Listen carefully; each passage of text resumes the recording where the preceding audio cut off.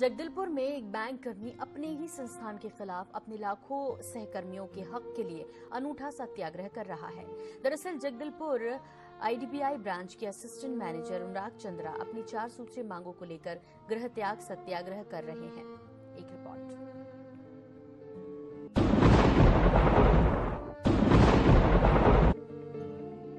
जगदलपुर में अनुराग कर्मियों के हक के लिए अकेले ही एक मुहिम चला रखी है, जिसका नाम इन्होंने दिया है। बैंक कर्मचारी है और वो अपनी चार सूत्रीय मांगों को लेकर आंदोलन कर रहे हैं।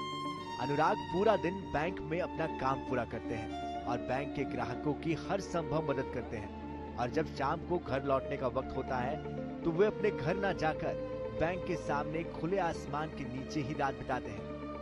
और यही इनका शांतिपूर्ण ढंग से चल रहा सत्याग्रह है। इसे उन्होंने अकेले ही शुरू किया है, पर अब धीरे धीरे लोग उनसे जुड़ना चाह रहे हैं। अनुराग बताते हैं कि पूरे देश में उनकी ही तरह और भी बैंकर्स हैं, और सभी ने मिलकर एक बी बैंकर्स नाम का ग्रुप भी बनाया है, जो कि एक ग्रुप मात्र है, ना कि कोई संगठन। इसमें लगभग सवा लाख बैंक कर्मी जुड़ चुके हैं। सभी की समस्याएँ भी लगभग समान है। अनुराग के मुताबिक बैंक कर्मियों पर इतना दबाव बनाया जाता है कि वे अपना पारिवारिक जीवन तक नहीं जी पाते।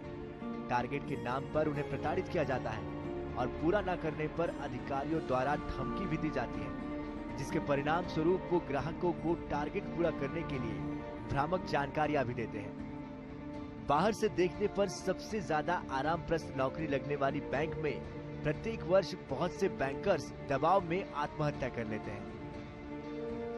बहुत जगह पे ऐसा कंप्लेन आ रहा है कि ग्राहकों को गलत बीमा बेचा जा रहा है। इसमें आम अधिकारी का कोई दोष नहीं है। हर एक साल तीन चार तीन चार लोग सुसाइड कर रहे हैं। आप सोचिए बैंकर की ज़िंदगी नॉर्मली बोली जाती है कि बहुत अच्छी ज़िंदगी है। स्टेबल लाइफ है गवर्नमेंट जॉब है। सब कुछ होते हुए भी एक आदमी अपने पूरे परिवार को छोड़ के सुसाइड करने पे क्यों मजबूर हो रहा है? मैं जो ये कर रहा हूँ, ये इंडिविजुअल कैपेसिटी में कर रहा हूँ, एक आम आदमी की तरह। ये दिखाने के लिए कि एक आम आदमी के पास अधिकार है विरोध करने का अगर वो देश हित में वो कर रहा है अपने हित को प्रोटेक्ट करने के लिए कर रहा है तो। जब उन्होंने अपने माता पिता को अपने अनिश्चितकालीन सत्याग्रह की जानकारी दी तो उनके चेहरों पर हवाइया उड़ने लगी। माता पिता ने उन्हें ऐसा करने से रोकना भी चाहा, पर जब अनुराग ने उन्हें सबकी व्यथा बताई तो पूरे परिवार ने भी उन्हें सहयोग करने का फैसला किया। सो नहीं पाता है। घर नहीं आ पाता है, हम सबों से बात नहीं कर पाता है तो पीड़ा तो मर्मांतक पीड़ा होती है, व्यथा और कष्ट नहीं, मर्मांतक पीड़ा होती है। पहले दिन की बात है, जब ये कहा जो हम रात में नहीं आए हैं, इससे पहले हम लोगों से छिपाता रहा कोई खुलकर नहीं कह रहा था, इसलिए कि समझता था ये लोग रोने लगेंगे कहा जो हम रात भर नहीं आएँगे क्यों नहीं आओगे भाई? तो आज ही की बात नहीं अनिश्चितकालीन क्या हो गया? तो ऐसे ऐसे मैनेजमेंट में मेरी बात सबको तो मानसिक तो करना ही पड़ता है। अंदर से भावनात्मक जुड़ाव है, इसीलिए अंदर से होता है कि मैं विरोध कर दूँ। लेकिन जिस मिशन में यह निकला हुआ है, उसमें तो हिम्मत बटोरनी ही होगी।